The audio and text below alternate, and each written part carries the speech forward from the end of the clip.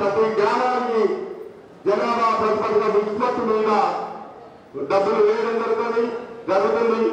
మరి ఆ గత ప్రభుత్వంలో చేయాలంటే సంక్షేమ పథకాల విషయంలో కానీ అభివృద్ధి విషయంలో కానీ ఈనాడు కేసీఆర్ గారు బృహ సంకల్పంతో ముందుకు తీసుకుపోతున్నారు.